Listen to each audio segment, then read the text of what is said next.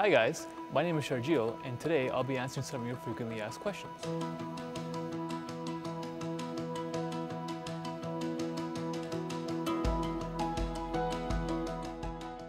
Today we'll be going over how to clear the cache and data for your Biopod app on an Android device. Some Android phones can cause performance issues and bugs. If you are experiencing any of these issues, clearing the cache and deleting the data could be a solution for you. Follow these steps on your Android device. Before proceeding, please ensure you know your login username and login password for your Biopod app as clearing the cache and data on your Android phone will require you to log back into the app once you're done. First, go into your settings menu, find the apps section, next find your Biopod app.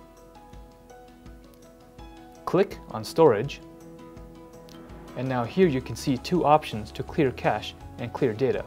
So go ahead and do both. Now you've successfully cleared the cache and the data on your Android device for the Biopod app.